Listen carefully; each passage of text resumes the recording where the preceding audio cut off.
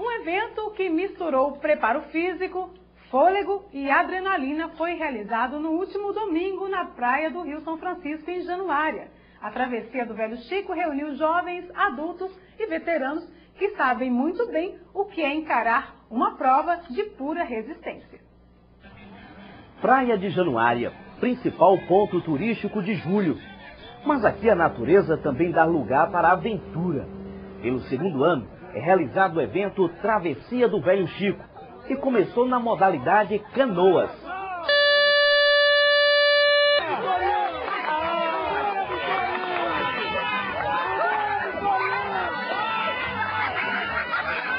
Oito participantes, dois em cada canoa, remaram de uma margem do rio à outra. Era preciso recolher uma bandeira fincada no barranco e voltar a remar até o local da largada. Um percurso de 800 metros. Tonho Marcos e Lucas Justiniano não tomaram conhecimento dos demais concorrentes e terminaram em primeiro lugar. Alegria de quem até fez possível.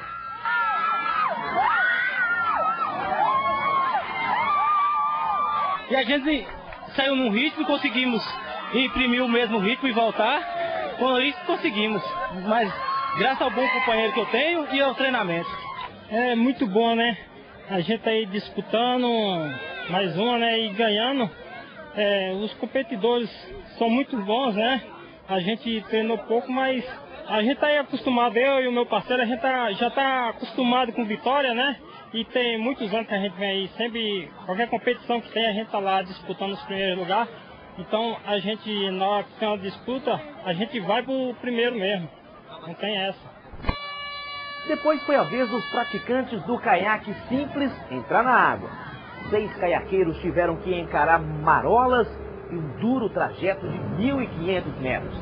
Esforço físico e bastante treinamento são importantes para quem almeja chegar na frente.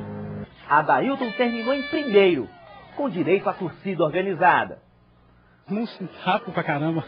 Nem percebo na hora o percurso é, é tão cansativo que você nem pensa que é uma eternidade.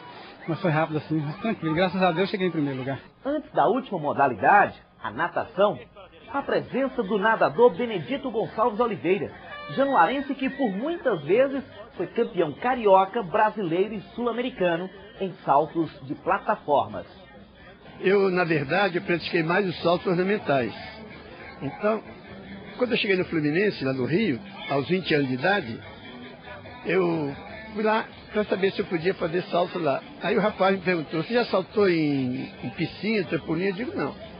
Já saltei muito no cais, lá de Januária. Ah, mas então deu salto ali. Aí eu fiz um salto, ele gostou, fica aí para a gente treinar. Aí, a partir daí, não saí mais do Fluminense. Fui campeão carioca cinco vezes, fui tricampeão brasileiro. Meu primeiro título eu ganhei no, em Belo Horizonte, no Minas Tênis.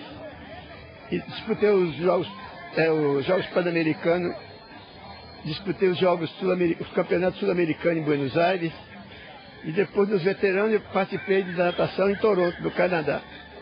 E, e todo ano em Januário continuo nadando aqui nesse rio maravilhoso. E é isso aí. E nos preparativos da prova que visa atravessar o Rio São Francisco nadando, este casal de quase 60 anos. Tereza será a única mulher a participar. Olha, o que vale a participação e o evento. A gente sempre veio aqui em, em Januária e sempre sonhou em ver isso aqui.